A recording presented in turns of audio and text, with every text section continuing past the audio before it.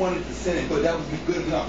That's where you got your response. Stop being greedy. I say it again. When I said it to you, I'm not trying to be greedy here. I just want to lay options. You didn't put that. You just put pay your seat. So you got what you deserve by saying stop being greedy. No, you got what you deserve because that's it. That's all we're getting. Water and better. I don't understand. though.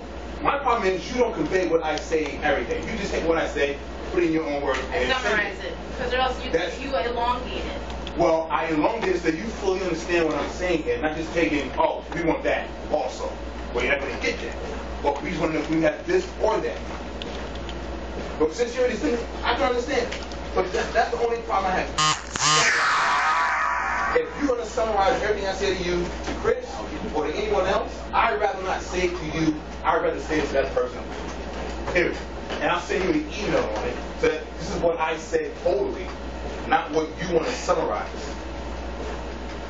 I don't think you should summarize what I, if, if it's me talking too much, I'll write it down, I'll send it to you. And then you can send it to the group.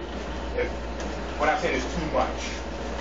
I'm not, I'm not an attitude, it's just that You do have an attitude, You put it right? down. You do have an attitude. Whenever you speak to someone, you have an attitude. I'm gonna ask when I see that, that the response that I get from it is a problem. It's not a problem. I already told you. The Red Bull you're getting, the water you're getting. The tea he said to stop being greedy. And that's it. But the context you sent to me right, was not right. Wasn't full. That's why I didn't expect you got to reply back. Well,